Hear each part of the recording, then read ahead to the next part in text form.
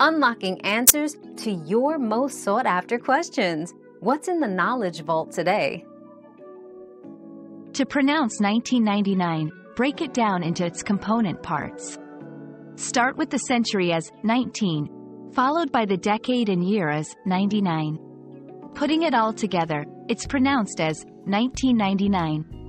This method highlights the proper way to articulate year numbers, making it easier to pronounce similar year numbers accurately and confidently. Your daily dose of discovery ends here, but the journey of learning never stops. Subscribe and join us again for more answers tomorrow.